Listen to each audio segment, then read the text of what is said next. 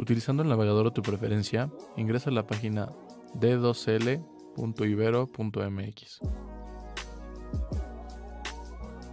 Para entrar necesitas poner tu usuario y contraseña.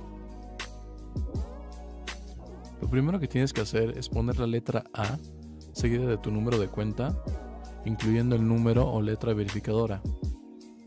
Recuerda que no debes escribir el guion al poner tu número de cuenta.